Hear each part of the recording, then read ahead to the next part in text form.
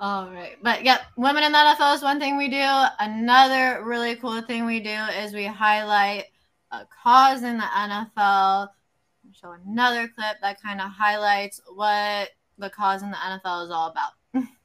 I think it's really nice that someone like Hayden Hurst is coming out and being like, look, you're not alone. Mm-hmm. I'm a big, tough football player, and look at me. Like, I went through it too. Like, anybody can go through it. Doesn't matter how, like, if you're an athlete, if you're a man. All right, so that was just a little highlight from Cause in the NFL last year. We talked about Hayden Hurst and his foundation that helps people with mental illnesses, but we've talked about a ton. I know we talked about the Vision one. We talked about, um, gosh, what's uh, for the brand about like animals and like animals having cancer and all that stuff. So we talk about a ton of different causes that players in the NFL or people closely connected to the NFL run essentially. And this week we're doing the Mike Evans Family Foundation, which Kate looked into. Yep. Um, do we want to run the video first or do we want me to talk?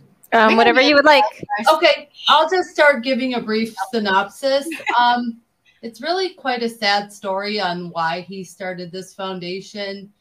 He grew up in a house with domestic violence in the fact that at the age of nine, his mother brother killed his father because of the domestic violence that was going on in his house. He was nine years old. He had no clue what was going on. Sorry if I get emotional. His father was his hero, and he really looked up to his father. So to know that his uncle, his mother's brother, had killed him his mother became pregnant with Mike at 14. Wow. So there was a lot of history in that family where, you know, of he like one time shoved a can up her mouth and broke her face and that was one of the last straws that broke the back of his uncle. So his uncle is now serving a sentence in prison and his mother always went to visit his uncle and took the children with him. Mike's got a younger sister.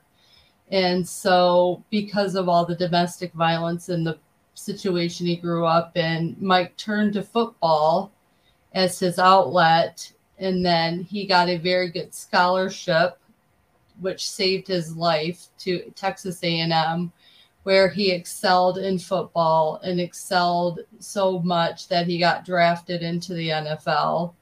And, at, and it was truly what saved his life because he grew up in such a rough home, rough background. And he grew up really wanting to give back and figure out how to give back, how to turn pain into something amazing because he had a lot of pain in his life. So he started this foundation with his wife Ashley in 2017 to start helping kids that couldn't afford scholarships afford college to get them scholarships and he they really look at families impacted by domestic violence and helping them either get out of the situation help them relocate, help the mom or the dad, whoever is the victim, and the kids in those situations have a better life. And he does a lot of dinners to raise funds for these this foundation. He does a lot in the community in Tampa where he's currently at playing to better everybody and he just wants everyone to have a better life and not to have the debt and not to have the burden to carry mm-hmm. all of that with them because he's learned to forgive his uncle for doing what he did. He understands why he did what he did. It wasn't easy for him as a young man growing up, but he's very blessed and fortunate that he had football as his outlet to become the man he is today and I think Mike Evans is one of the most extraordinary men in the NFL, and he's one of the best receivers in the NFL.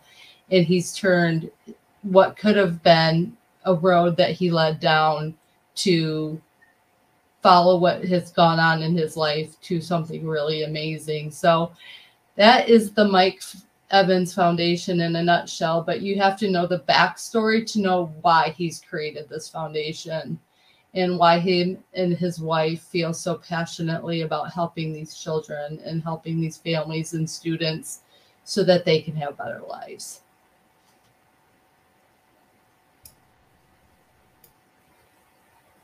Ball champ Mike Evans and his wife, they they spend a lot of time giving back to the community here in Tampa Bay, and they do it through the Mike Evans Foundation. Let's tell you a little bit about that. Evans started this foundation in 2017, providing scholarships to kids to go to college. Evan says he wouldn't have been able to attend Texas without a scholarship himself. He went to Texas A&M, had a heck of a college career. The foundation also focuses on fighting domestic violence and helping support family and kids who are going through that difficult time. He knows that, you know, the fans come to games every week. He wants to be able to, you know, give back to them as much as they support him and have supported him this entire time. Um, and he just really wants to make a difference and be able to help the people that need it. For the first time, the foundation gave 13 students $5,000 scholarships this year. The foundation's gala is coming up at the end of the year where they will honor 13 leaders in Tampa Bay. You can nominate a leader now as well. Just go to abcactionnews.com slash bucks to find out how. So there's the Mike Evans Foundation. So pretty, he's pretty incredible man, in my opinion.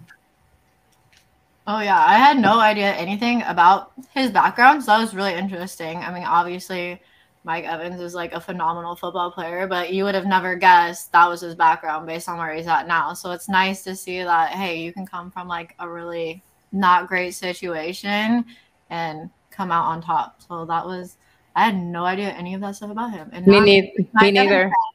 yeah, me neither. You're right. I'm with you, Ash. Thank you, Kate, for bringing this foundation to light for us. And uh, now we know like a lot of the things that he overcame and the fact that he's so successful as he is, but wants to give back, I think is amazing. So thank you for talking about Mike Evans and his foundation.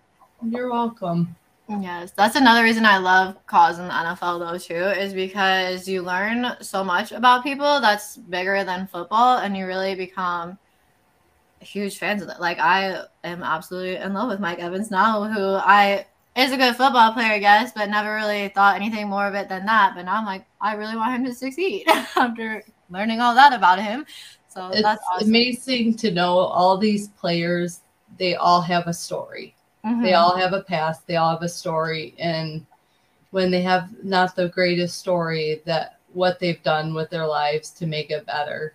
And I love that they give back because they have the means to give back. Yes. And they're just not sitting in their big houses. Mm-hmm. It is all about them. Yeah. And it's nice too because there's a lot of not great news that comes out of the NFL at times. So it's nice to focus on like what it what good is coming out of these guys. Instead right. of just always like what makes a good news story that is drama and just not great. So right. I love right. it because it's one of my favorite things we do. I'm with that. Thanks for watching. If you like that clip, be sure to check out the other great content from the Let's Talk Football community.